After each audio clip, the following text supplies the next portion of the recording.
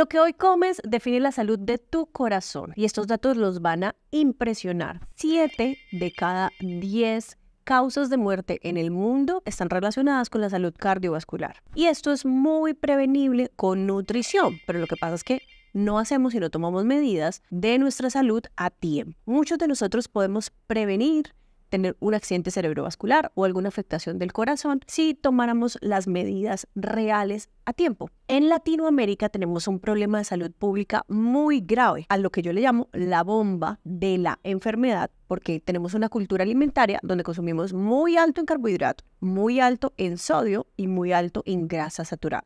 Y esta triada implica una afectación en la salud del corazón. Eso no significa que los carbohidratos sean malos, ni que el consumo de grasas saturadas per se sea malo, ni que el sodio per se sea malo. Lo que pasa es que lo estamos consumiendo en exceso. Tú te preguntarás, ¿cómo así? O sea, ¿debo comer carbohidratos? ¿No debo comerlos? ¿Grasas saturadas? ¿Bueno, malo? ¿Sodio? Ya voy a explicar. Nosotros tenemos una cultura alimentaria donde la base de la alimentación es muy alta en carbohidratos porque antiguamente en algunos países o se come mucho maíz, nosotros en Colombia consumimos mucho arroz y en otros lugares del mundo, como en Perú, se consume muchísima papa. Ha sido la base culturalmente de nuestra alimentación. Sin embargo, ¿qué ha pasado? Que a través del tiempo hemos migrado a consumir muchos productos ultraprocesados. Entonces, los productos ultraprocesados generalmente tienen una base también muy alta en carbohidratos, muy alta en sodio porque tecnológicamente se requiere el sodio para mantener la estabilidad de esos productos y, tiene una función de conservante, por eso los productos ultraprocesados son muy altos en sodio y aparte de eso muy altos en grasas saturadas, porque las grasas saturadas le dan sostén a este tipo de productos ultraprocesados. Nosotros de nuestra cultura alimentaria de comer carbohidratos bastantes carbohidratos naturales, hemos pasado a consumir bastantes carbohidratos procesados. Si nosotros manteniéramos una dieta muy natural, podríamos gestionar el volumen de carbohidratos y podríamos, solo disminuyendo las porciones de estos carbohidratos, generar algunas estrategias nutricionales de prevención para mejorar o prevenir sufrir de alguna enfermedad cardiovascular. Sin embargo, esto no sucede. La gran mayoría de nosotros tenemos incluido hoy en día dentro de nuestra dieta alimentos ultraprocesados, como por ejemplo galletitas, ponquecitos, panecitos, yogurcitos. Entonces, si nosotros estamos comiendo este tipo de ultraprocesados en diferentes momentos del día, estamos haciendo demasiados snacks, esto lo que va a hacer es va a ir alterando nuestro metabolismo. El marketing nos ha hecho creer que necesitamos estar comiendo de esto. Sin embargo, esto no es así. Además, este tipo de productos son altos en carbohidratos, como les dije, grasas saturadas y sodio, sino que además tienen aditivos alimentarios que también están contribuyendo de forma negativa al proceso inflamatorio dentro de nosotros los seres humanos. En otro video voy a hablar sobre inflamación crónica. Ahí vas a entender un poco cómo la inflamación crónica afecta y va deteriorando tu salud de forma sistémica. Sin embargo, estos ultraprocesados, si ustedes se dan cuenta, lo que tenemos de acceso cuando estamos en una oficina, cuando dentro de nuestra jornada laboral, son vending machines que son esos productos de donde sacamos galletas, yogurcitos, poquecitos que usualmente son ultraprocesados, o también personas que venden este tipo de productos cerca a la calle. Entonces, por acceso, lo más fácil de consumir es este tipo de productos. Así que es normal y natural que dentro de nuestra dieta tengamos un consumo exagerado de este tipo de productos. Dicho esto, sostenido en el tiempo, y aparte de esto, si a esto le sumamos las bebidas carbonatadas como las gaseosas, bebidas saborizadas, los jugos, incluso con muy alto en azúcar, pues nos da un panorama dietético muy negativo en función de la salud cardiovascular. ¿Qué podemos hacer nosotros? De lo primero que vamos a hacer o la recomendación principal para cuidar la salud del corazón y que deberíamos empezar a hacer ahora mismo es eliminar los productos ultraprocesados de nuestra dieta. O por lo menos que el 80% de nuestra alimentación sea alimentación completamente real. Al eliminar los ultraprocesados, intrínsecamente vamos a estar disminuyendo el consumo de sodio, ya que los ultraprocesados, como mencioné anteriormente, tienen una cantidad de sodio súper elevada.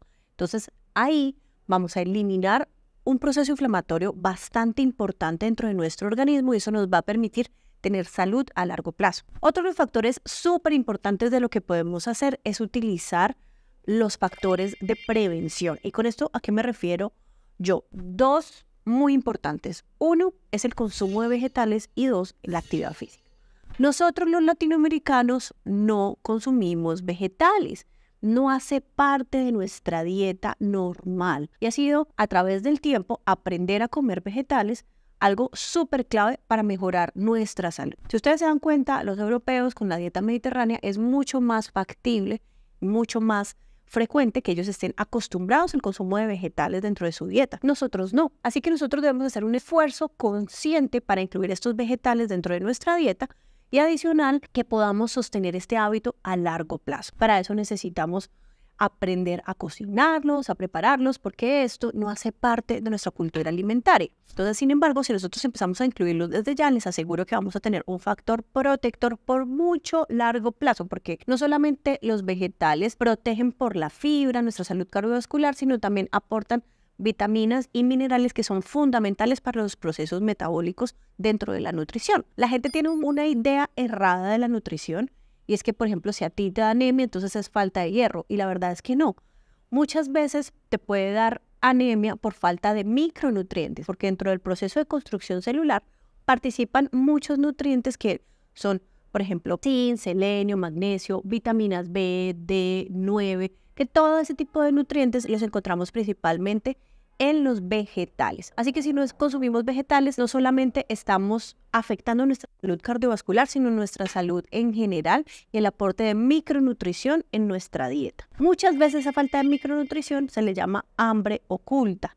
Eso quiere decir tenemos una malnutrición por falta de minerales y esto afecta nuestra salud cardiovascular de forma muy, muy fuerte. Otro de los puntos principales para nuestra salud cardiovascular es utilizar la actividad física como factor protector. Todo el mundo habla de actividad física, todos aquí. Ustedes ya saben esto, todas las personas lo mencionan. ¿Qué pasa con la actividad física? Parece obvio. Y ustedes han escuchado esto repetitivo, ah, sí, ya sé lo que tengo que hacer. Tengo que hacer ejercicio. Pero una actividad física de tres minutos, tres minutos no es nada. Mover tu corazón, acelerar el corazón entre 3 y 7 minutos diarios. O si puedes salir a caminar diariamente 15 minutos. Y 15 minutos no te va a cambiar la vida de 24 horas y de 1440 minutos que tiene el día. No te va a cambiar tu día si, si tú sacas 15 minutos de tu día para hacer actividad física. Moverte, así sean 3 minutos o 7 minutos, va a ser un cambio sustancial en la salud cardiovascular no solamente cardiovascular, sino tu salud estructural, porque también va a contribuir a proteger tus músculos. El desarrollo de la masa muscular no solamente va a prevenir que tengas afecciones en el corazón, porque el corazón es un músculo, no sé si sabes, el corazón es un músculo que también se trabaja. Pero no solamente eso, sino la estructura ósea, tu estructura ósea utiliza los músculos como protección. Así que para tu vejez, para prevenir caídas, para prevenir rompimiento por osteoporosis, desarrollar la masa muscular es supremamente importante. Así que tú puedes empezar por 3 minutos, después subirlo a 7 minutos, después 15 minutos y después desarrollar el hábito como tal. Lo importante de esto es que lo hagas frecuentemente, por lo menos 3 o 4 veces a la semana. Eso de ir a jugar fútbol, a salir a correr en la ciclovía solo el fin de semana, no funciona. Es preferible que hagas 15 minutos todos los días a que hagas solamente una hora un día a la semana. Así que intenta subir escaleras. ¿Qué puedes hacer? No utilizar el ascensor. Es una forma muy fácil de mover tu corazón de forma regular. Dos, forzarte a caminar, hacer caminatas después de, de comer o salir de tu hora de almuerzo en el trabajo. O por las noches, si tienes mascota, salir a pasear a tu mascota, moverte o simplemente hacer las tareas del hogar trasladándote de un lado a otro. Eso va a permitir que hagas actividad física y que contribuya positivamente a la salud cardiovascular. Así que si te sirve esta información, si sabes de alguien que esté sufriendo de la salud cardiovascular o que quiera prevenirla, compártele este video. Soy Diana Castillo, nutricionista epidemióloga y te ayudo a nutrirte para que no tengas que medicarte. Dale like a este video y no te olvides de suscribirte.